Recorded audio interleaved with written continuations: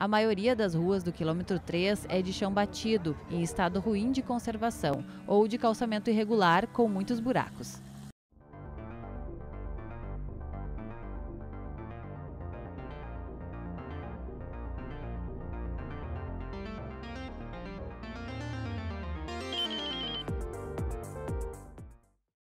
Com a reconfiguração dos bairros da cidade em 2006, o quilômetro 3 passou a abranger a Vila Bilibio, localizada à direita da BR-158, no sentido de quem vai para Itaara.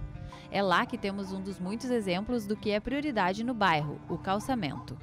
A rua Marconi Mussoi é o único acesso para as dezenas de famílias que moram na vila. Mas, mesmo sendo uma área regular, há muitos anos as máquinas da prefeitura não aparecem para fazer reparos, segundo os moradores. Parte da rua Marconi Mussoi é de calçamento irregular, com trechos bastante deteriorados, e outra parte é de chão batido, que, somados ao terreno íngreme, tornam extremamente difícil a subida até as moradias. Os moradores da Bilibil, que pagam IPTU como os outros nas demais vilas do bairro, pedem a manutenção das ruas. O quilômetro 3 não tem escolas municipais nem rede de esgoto, também não tem praças nem áreas verdes.